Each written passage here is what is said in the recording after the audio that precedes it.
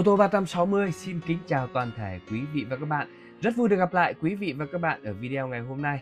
Thưa với quý vị và các bạn ở video ngày hôm nay tôi xin gửi đến quý vị và các bạn một chiếc xe Honda City phiên bản là City Top các bạn nhé. Chiếc xe được sản xuất năm 2017 Đấy, đăng ký tên tư nhân và biển thành phố chúng tôi cũng đã rút hồ sơ rồi. Đấy và hiện tại cửa hàng chúng tôi thì đang có cả màu à, xám, màu ghi và màu trắng chiếc xe City Top 2017 này phiên bản này là màu trắng các bạn nhé màu trắng ngọc trinh, rất là đẹp các bạn ạ. Đấy, chiếc xe này thì à, giá thì cũng rất là rẻ thôi. Chúng tôi đang bán với giá chỉ loanh quanh khoảng 308 307 à, đến 308 là quý bạn đã được sở hữu những chiếc xe Honda City Top 2017 tại cửa hàng chúng tôi rồi các bạn nhé đấy, và tại cửa hàng chúng tôi thì à, còn đang còn rất là nhiều xe Fortuner.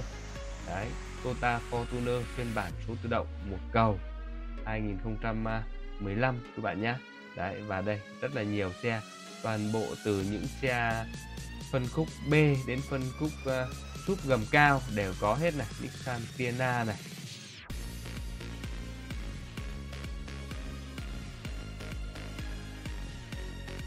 Hiện tại cửa hàng chúng tôi còn rất nhiều các loại xe ô tô để cho quý vị và các bạn lựa chọn nhé Từ Honda City này. Đấy, phiên bản này là phiên bản màu xanh Cavansai đây các bạn nhé.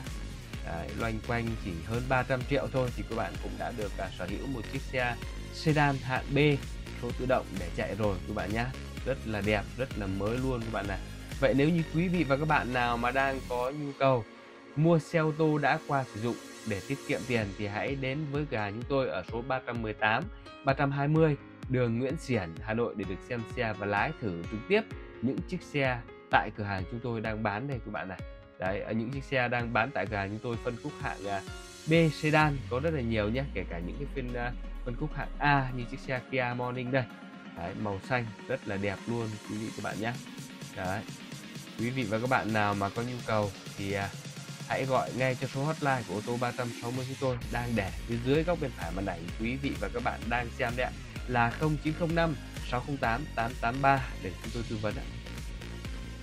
Quý vị và các bạn đang theo dõi clip thì xin quý vị và các bạn hãy like clip, hãy đăng ký kênh để ủng hộ cho kênh ô tô 360 chúng tôi và cũng là để đón xem những video mới nhất, những chiếc xe mới nhất chúng tôi đang lên trên kênh ô tô 360 này. Cảm ơn quý vị và các bạn. Đấy, hiện tại cửa hàng chúng tôi còn đang rất nhiều xe các bạn nhé và cả có cả những chiếc xe mà chúng tôi còn đang dọn cơ. Đấy, rất là nhiều đây, những chiếc xe Mitsubishi Jolie Đấy, chỉ có 79 triệu đồng thôi Nissan Tiana chỉ có 269 triệu đồng. Đấy, nhập khẩu đây Nissan Tiana nhập khẩu bạn nhé.